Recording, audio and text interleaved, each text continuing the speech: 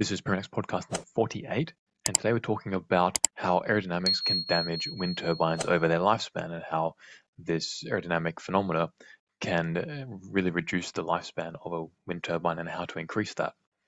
And to do that, we're going to look at a paper called Along Wind Aerodynamic Damping of Wind Turbine Towers, Determination by Wind Tunnel Tests and Impact on Tower Lifetime. And this is an open access paper. You can find the link in the description if you want to play along at home. And here's a video of wind turbines if you've never seen one in operation.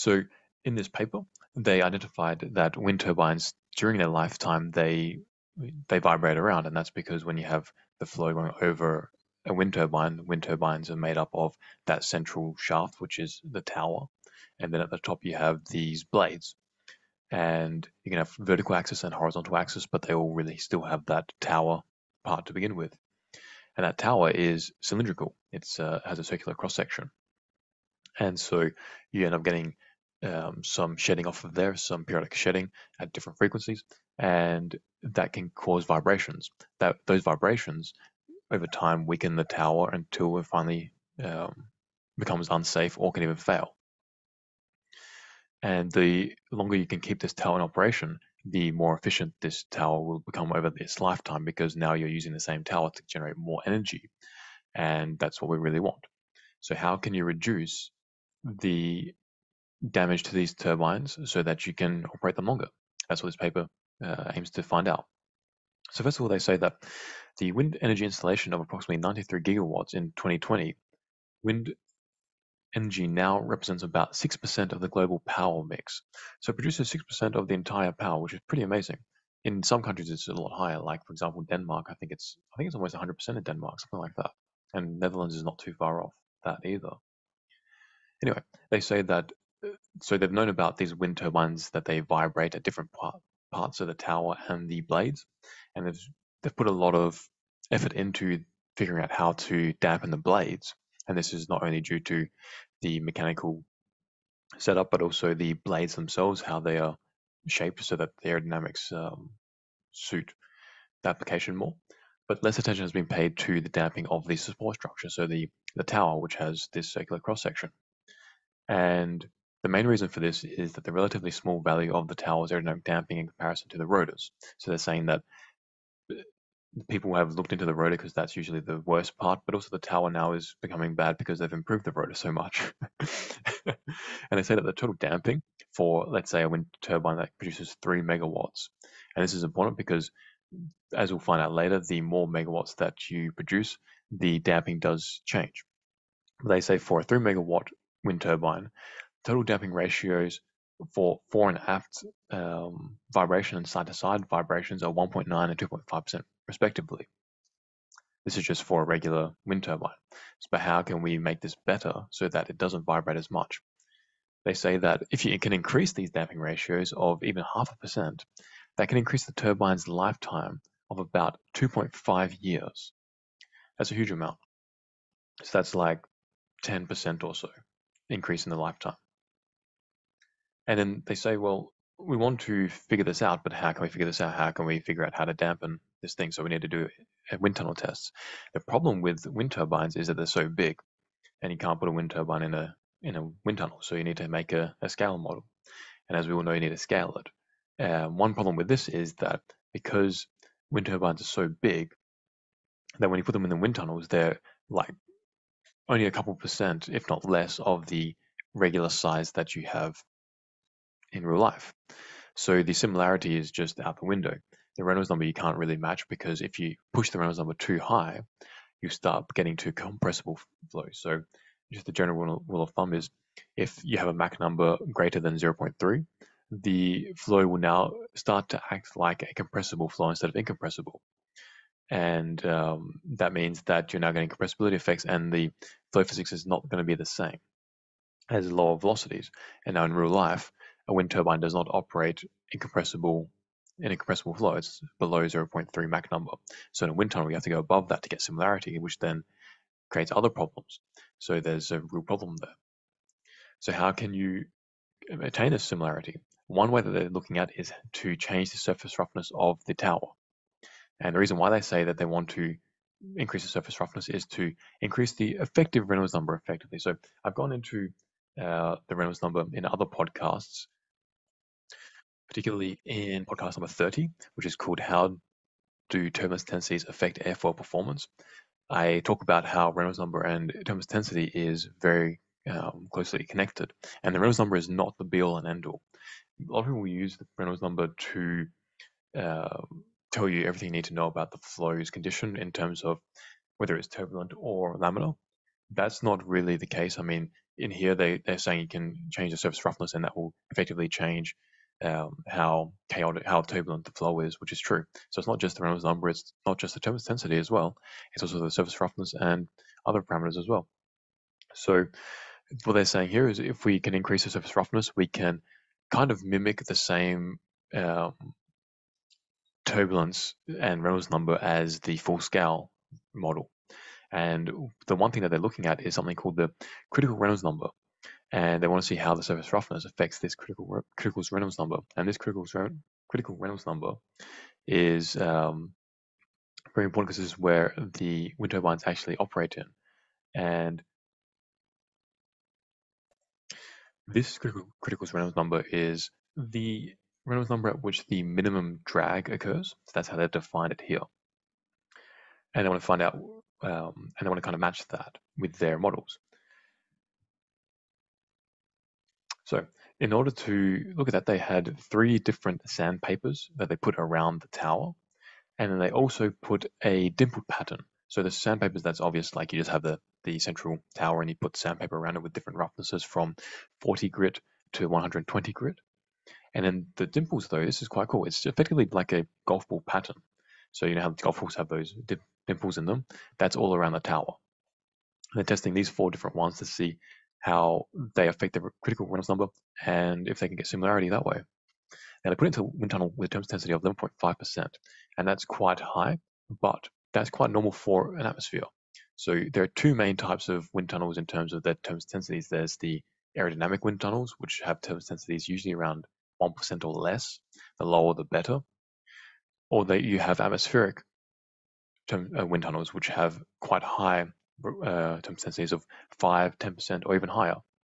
And they're to mimic regular atmospheric conditions.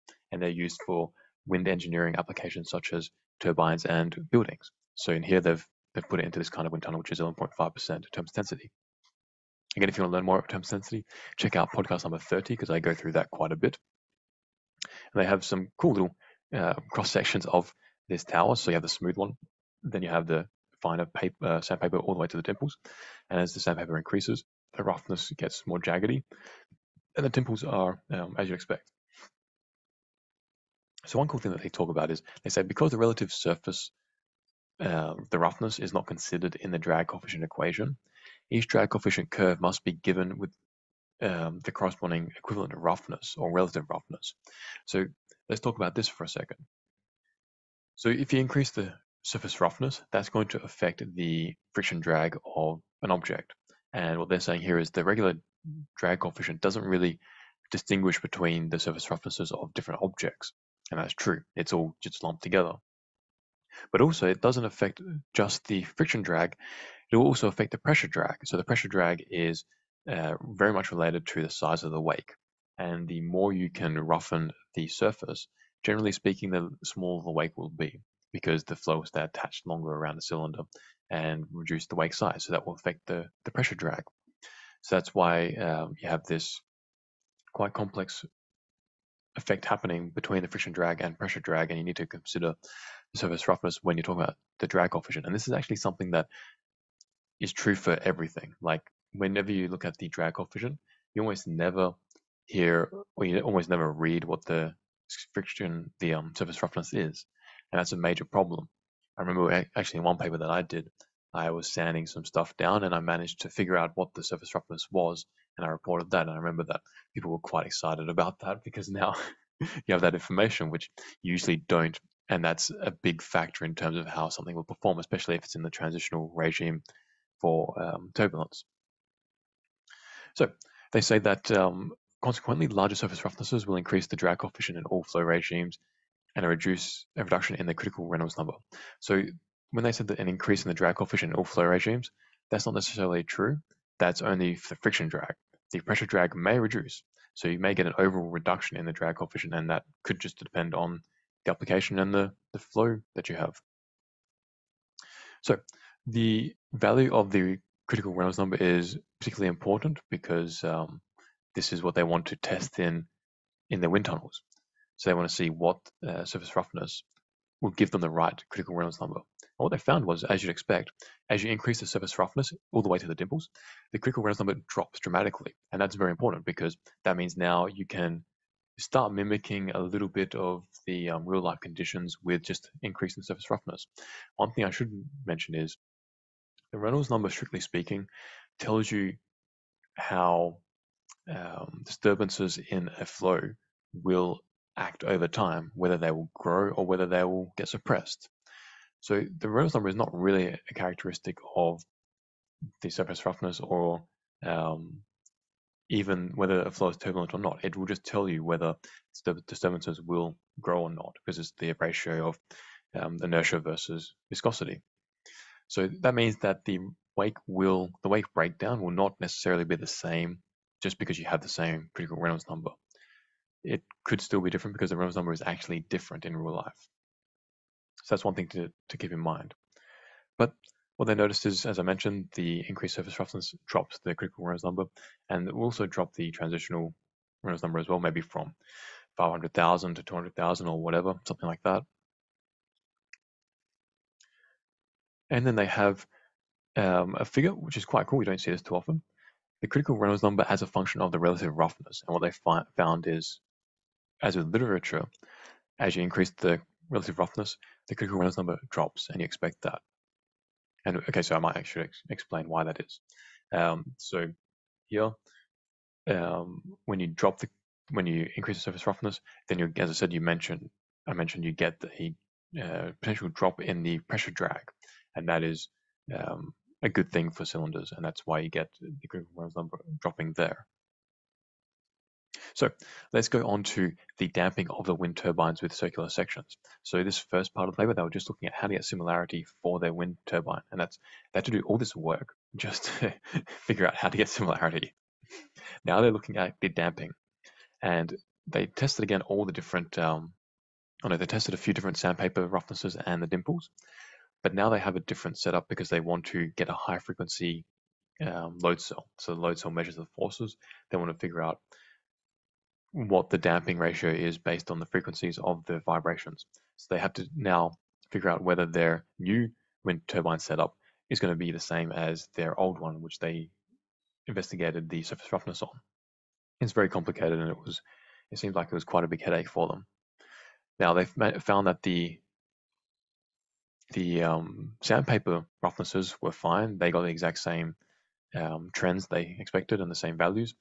However, the dimples they performed slightly slightly differently. They had a different um, critical Reynolds number and drag coefficients, and that said they said that is possibly due to the dimples that were drilled into the the new aluminium cylinders were too rough and sharp, and that is definitely a possibility. So when you have burrs on a surface, or not rounded corners, that's going to change the flow physics definitely on a surface, particularly burrs. Burrs, you can get vortices forming and then they can re-energize the flow. They can act effectively like micro vortex generators.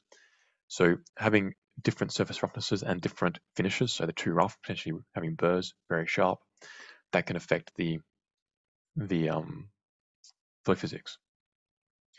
So they talk about a lot. They have a lot of equations. I'm not going to go through them because they're they're quite boring and they don't really you don't need to know them. If you want to go through them, you can just download the paper and go through them. They're not that difficult. But let's go to the results. So they say in the first step, the damage of each wind turbine, or of each, wind speed, sorry, is calculated for all the simulations with and without aerodynamic damping. The tower section zone with higher damage is studied. So before we go any further, I just want to say to make sure to check out the instrumentation we do here at Promax. We have uh, the MSP Hawk, we have PIV, and we have traverses. We also have a new method called Rayleigh scattering, and this will improve your your experiments greatly. There, MSP Hawk, for example, that makes sure you don't have any errors in your density of air. And most aerodynamicists do not measure the density of air, which is a massive problem uh, because you can have a easily an error of two or three percent on a regular day in that, and you're carrying that forward into everything that you do, including the validation of CFD, and that's very bad. So check our uh, instrumentation, check out our courses as well. We do theory like this and CFD and experiments. So links in the description. So let's get to the, the results. What they found was that as you increase the wind speed, the damping has a greater effect. So the damping went from, as expected, they say the effect of the aerodynamic damping is more pronounced for higher wind speeds. The total normalized damage in the simulations without aerodynamic damping is 1.43% higher than in the simulations with aerodynamic damping. So that means that the life expectancy can increase up to 0.7% if you have damping or more damping. So that means that with 0.7%, that's a huge increase in life expectancy just with a little bit more damping, which means that your wind turbine becomes more efficient. And it means that the the vortex shedding is not moving your your tower around as much. One thing that I might be interested in is how that would affect the sound. So if you're damping some of the vibration, that might help reduce some of the sound that comes off of wind turbines. And I'm not sure if you know, but um, the sound that comes off wind turbines is has been a massive talking point among people, especially among people who live next to wind turbines. They say that they um, feel sick out of it. So that's one major reason why uh, some wind turbine areas have not gone up. So by reducing the, the noise, that could be beneficial for that and that's an aeroacoustic effect.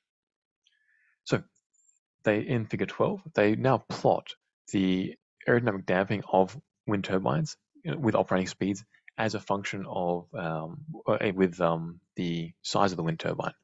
And what they found was that the increase in the power um, output increases the damping of the wind turbine to begin with.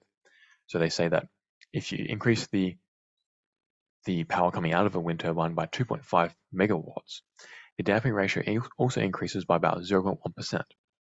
What that means is that bigger wind turbines have a greater damping ratio, which means that they have a greater lifespan from that point of view. Smaller wind turbines have a lower damping ratio, which means that they will suffer more damage and reduce their life expectancy from the, this phenomenon. So that's quite interesting. And also, as the wind speed increases, the damping ratio also increases now, it's not a huge slope, like at 3 meters per second. The damping ratio is approximately 0.05%. At 25 meters per second, it's approximately 0.4%. So, okay, it's a, an increase of 8, um, but you're increasing the velocity by a huge amount. So it's not a very large slope, which is why perhaps having other aerodynamic damping um, devices are a good idea, and increasing the size of the wind turbine to begin with. In fact, actually, the bigger the wind turbine, the, the um, generally speaking, the bigger wind turbine, the, the greater the slope it seems.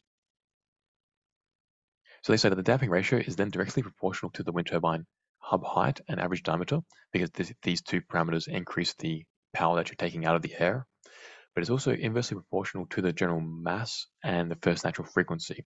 So the higher these two values, the um, lower the the damping ratio. So in conclusion, they say that uh, the aerodynamic coefficients of cylinders with circular cross sections and different surface roughnesses were determined in wind tunnel tests with um, quite high thermal densities. And they say that um, if you have a wind turbine with higher damping ratios, so for example, um, a 6 megawatt wind turbine and you increase the damping ratio by 0.7%, then you can increase the lifetime expectancy of 0.4%. So that's the end of this podcast. Make sure to like, subscribe, and show all your friends who are interested in wind turbines as well. Peace out, amigos.